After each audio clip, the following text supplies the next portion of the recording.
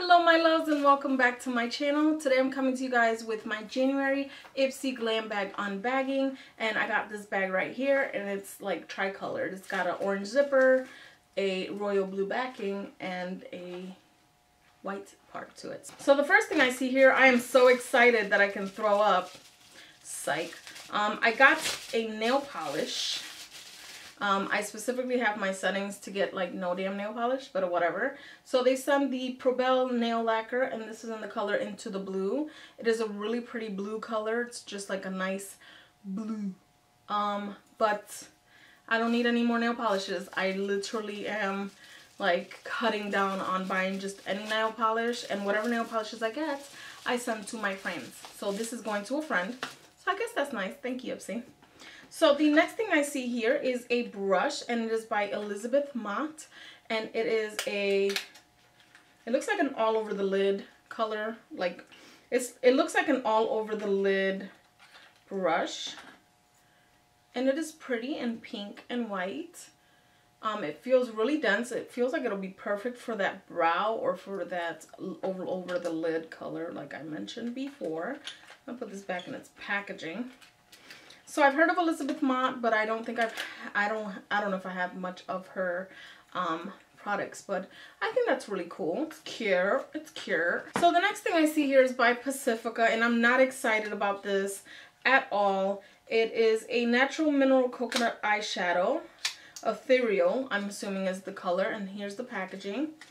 I'm gonna open this up if I can get it out. And it's got that cheapy plastic packaging that, you know, if you lift the lid up too high, it'll pop out. So here's the color. And it looks like a really pretty champagne color. And then you go to swatch it and you gotta like rub it up. And that's the color. You can barely get any of it on your finger. Everything stays. I don't know if it's because it's infused with coconut or whatever. It would be a really pretty color, a basic color to use all over the lid or for inner color highlights.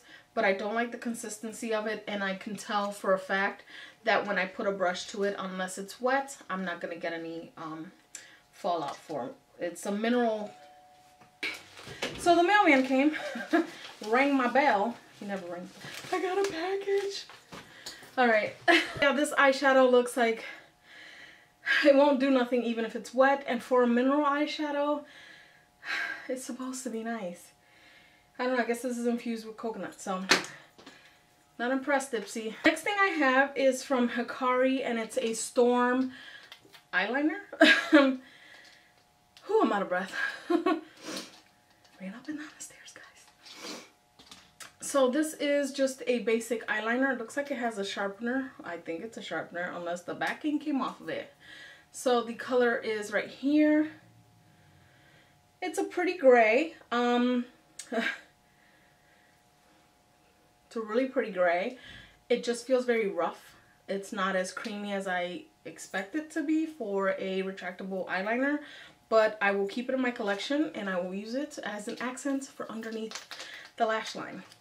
So last on in the bag is from Eco Beauty and it is by LA Fresh Group and I was actually excited to see this because my skin was screaming that day that the Ipsy bag came and I've been really under the weather lately so that's why I opened the bag because I knew I couldn't film it right away and I was too nosy. So I got the Good Day Day Moisturizer, Ample Hydration, Fresher, Happier Looking Skin and this is a sample. I think this is so freaking smart and so freaking nifty. You just pop it open and you just take it out from here. And it's just like a squeezy tube package. I don't know. So it just it's better than just ripping it on the side and using up product or wasting product. So this has an ample amount. I used a little bit for around my nose and my mouth area and like my forehead my T-zone area and I think it works really really nice. It's very refreshing. It's not too thick. It's very creamy. Um so I think it's really really nice. So that was like my favorites out of this whole Ipsy glam bag. I'm not impressed Ipsy. Not this month but what's new.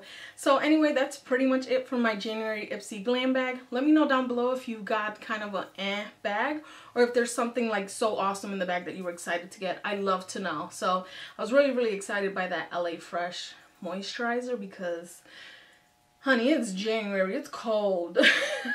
So anyway, guys, that's pretty much it. I love you guys. Thank you so much for watching, and I'll see you guys in my next video. Bye.